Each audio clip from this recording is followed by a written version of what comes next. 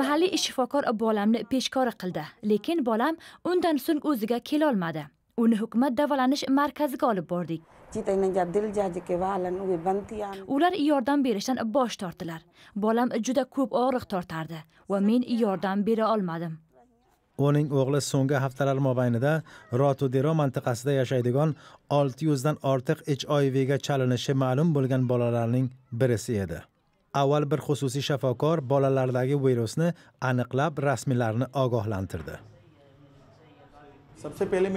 Avval bir bola hiv virusiga chalinganini aniqladim.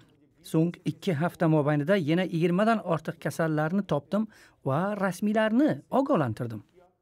Sog'liqni saqlash xodimlari tekshirishni boshlaganlar.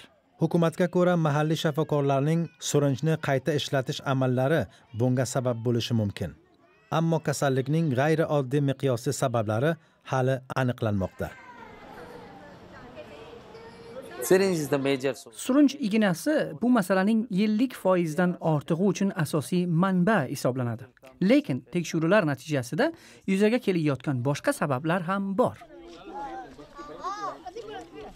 Bemorlarning soni ortib borishi mumkinligi haqida qo'rquv bor va bu yerda odamlar kerakli tibbiy yordam olmaganlarini aytishmoqda.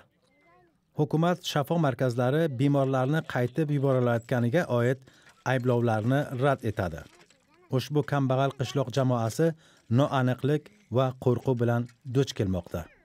Virus tarqalish sabablarini aniqlab bolalarni himoya qilish uchun kurash davom etmoqda.